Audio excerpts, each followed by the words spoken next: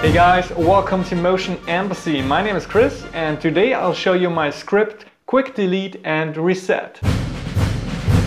After installing the script, go to Window, Quick Delete and Reset and you will get this nice looking toolbar. The layout is fully responsive, so you can have a vertical layout, a horizontal layout or anything in between. It's up to you. This is pretty handy when you want to dock the window into a smaller space like over here, or right next to the timeline as I like to use it. The functionality of the script is pretty straightforward.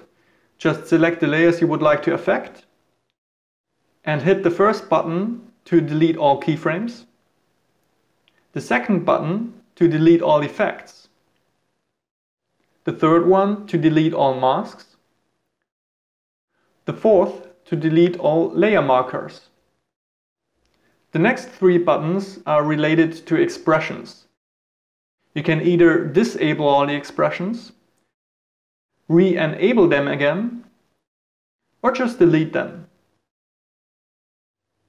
The next one is my favorite. It resets all the transform properties to their default values.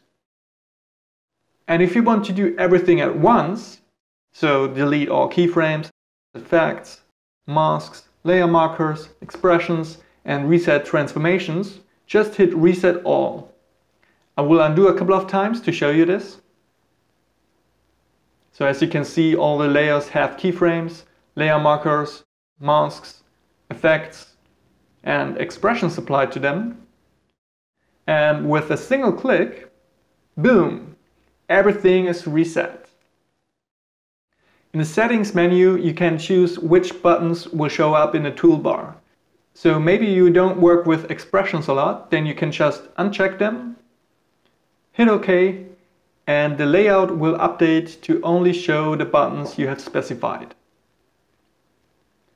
You also have the option to use text buttons instead of icon buttons, just in case you prefer it like that. Of course, the script works with all layer types, not just with solids. So it works with cameras, lights, shape layers, null objects, imported footage, and so on and so forth. Everything should be covered. I hope you find the script very helpful and that it improves your daily workflow. And I will see you in another video. Bye bye.